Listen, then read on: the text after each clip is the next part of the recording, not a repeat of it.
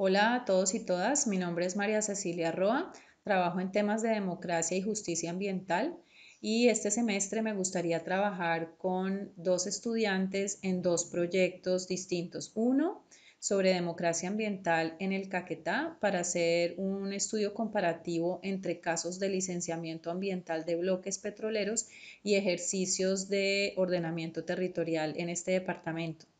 Esto para entender cómo se practica la democracia ambiental en este territorio.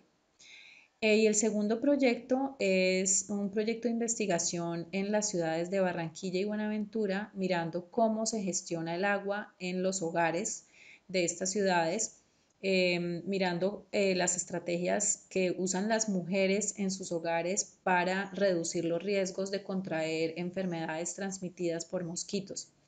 Em, este proyecto es un proyecto de colaboración con otras universidades y ya tenemos un equipo consolidado, entonces necesitamos una estudiante, ojalá mujer, em, para que nos ayude a eh, estudiar los casos de, de, gestión del agua en los hogares de estas dos ciudades. Gracias. Eh, los que estén interesados me pueden enviar un correo a esta dirección que les voy a compartir para ampliarles la información.